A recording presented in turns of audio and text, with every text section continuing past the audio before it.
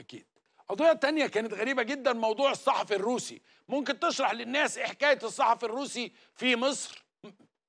والله هو ده أحد الصحفيين. هو آه، الراجل بيقول إن هو واخد واخد تصريح ولكن هو كان داخل منطقة منشيه ناصر أو عزبة الزبالين بشكل متخفي. كان بيلتقط مجموعة من الصور آه، العاملين في آه، الزبالة عاملين في جامع القمامة يعني آه، اشتبهوا فيه أو تشككوا في الأمر.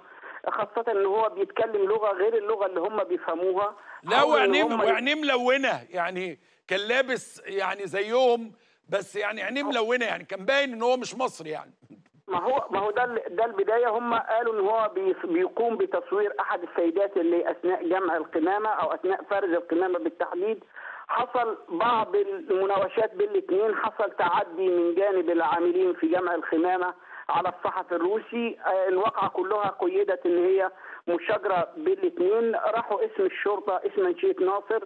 تم فحص التصاريح لكن إحنا بنتكلم إنه في تصريحات من نقيب الزبالين. دلوقتي بيقول إن هو ما كانش معاه تصريح. ده مش قصة إنه نقيب الزبالين إن هو كان معاه تصريح ولا معهوش تصريح. ولكن القصة اللي هو محق فيها إن هو حاول إن هو يصور بعض الأشخاص دون ان هو يكون إذن منهم. وهو تقدم باعتذار للسفارة الروسية.